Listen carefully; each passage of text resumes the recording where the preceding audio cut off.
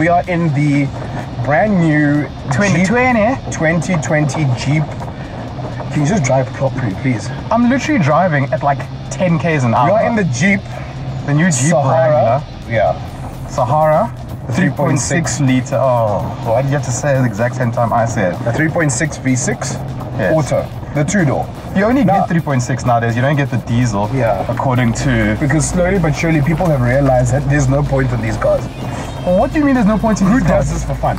It's not Like, like doing it for fun. Just because you're a little Sandton boy who only likes to go to the beach and go to Clifton, but um, doesn't mean that people don't enjoy this kind of thing. What is there to enjoy with these things? Th- For instance, right now, imagine we're on our way to holiday or on holiday. Yes, on a nice straight road in a sports car.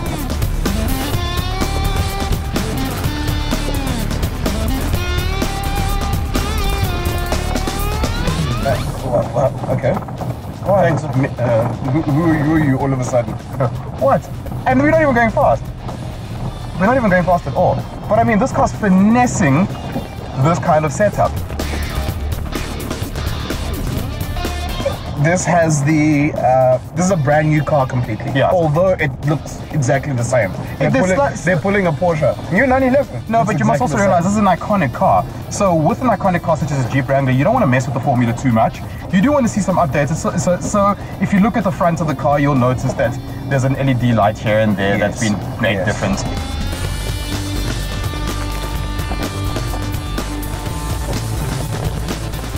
I do like this car. There's many elements of it I do like. The engine Oh is interesting. It's nice to also drive something that is Naturally aspirated. Exactly. We live in an era of turbocharged cars. This Yeah. car's got a 3.6 liter V6, 209 kilowatts, and it works. It's not overly slow. It's not very fast. Okay. But it gets you going. Can I just ju- can I just interject there? You're Yeah. talking absolute nonsense. yeah. It works. How much do you spend on fuel in this car? No, no, it is quite heavy on fuel. Exactly. So- and I so mean, it I think the real world figures, I think the combined, Works, huh? the combined um, consumption figures are something within the eights or the nines. Um, There's no way. But I don't believe that, honestly speaking. I mean, using this car in the two um, two-wheel drive mode, you still do use a lot of fuel.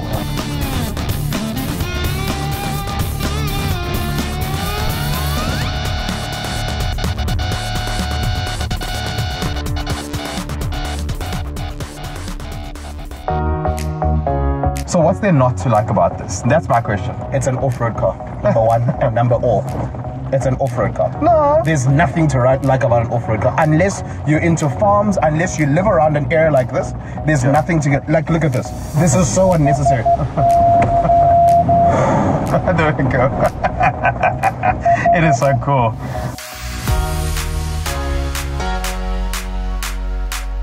You don't do this to a car. Why No, are we but doing that's this the whole point. car? You do you you must do this kind of things in a car like this. That's the whole point of it. That's why you'll see that even though I'll give it this in terms of the interior and all that kind of stuff in the car. It is good quality materials, but there are harder plastics because this car needs to be able to go bundu bashing. This car does cost you 860,000 Rand. I, I honestly cannot believe that. But that is a lot of money to be spending on a two door Jeep Wrangler. On a car that, that, that is very limited in terms of practicality and in terms of application. Mm. Exactly. if you're going.